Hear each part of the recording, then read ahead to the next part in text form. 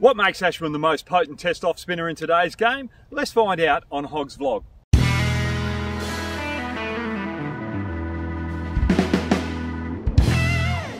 Right, there's five ingredients that makes Ashwin the best off spinner in the world of Test cricket today.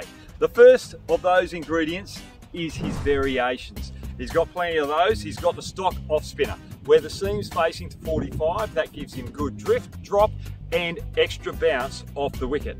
Then he's got the top spinner where the seam's going down towards the batsman. That will give him even more drop and when the ball pitches it will bounce more but also hurry onto the bat where he's hoping to get the gloves and bring the bat pads into play. Then he's got the arm ball, the conventional arm ball where the seam's square and the shiny side is facing the batsman. Now, it's natural variation off the wicket. If it hits a little bit of grass, it will go straight on. If it hits the rough, it will grip and turn. But then he's got a saucer type arm ball as well, where the seam's coming down in such a way, and he's trying to land the ball on the shiny side. And what happens there, when it pitches on the, uh, on the turf, it will skid on and hurry on quicker than any other ball and rush the batsman. And also, finally, he's got the Doosra as well. So, I'll just pick up my ball. he's got all the variations that an off spinner needs to bamboozle batsmen. Now, the next ingredient that he's got is his utilisation of the crease. Yes, he'll bowl his majority of the balls in a comfortable position out the crease, but he's prepared to go wider of the crease, changing the angle and changing the turn, and also coming close to the stumps as well, creating different angles from over the wicket. But even during overs, he's prepared to come around the wicket as well, just to change up those angles and change up the batsman's uh, footwork and the way that he wants to approach facing Ashwin. So very smart with the way that he utilises the crease. The next ingredient that he's got is accuracy. He owns this little piece of real estate where the batsman's got to decide whether to come forward or back. And any top spinner length comes first, then line.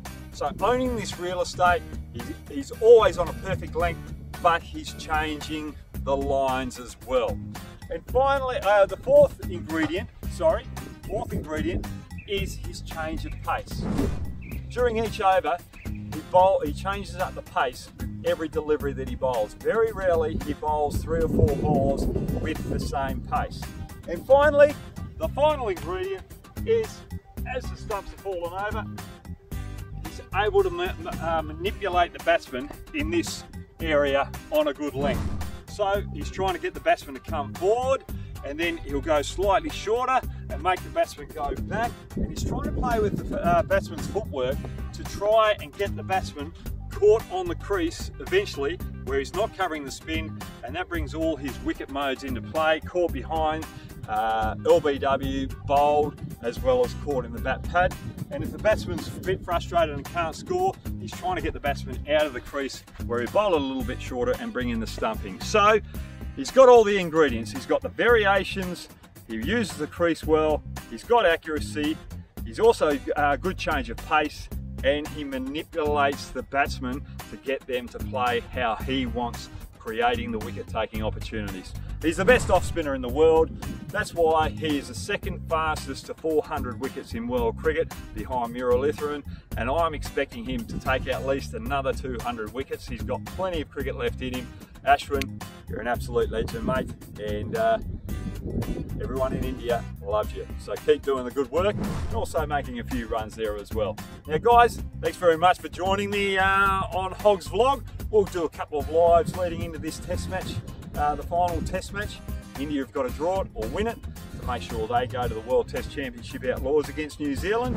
And make sure you join me by getting your mates subscribing down here for uh, more lives during the final test match. Thanks guys.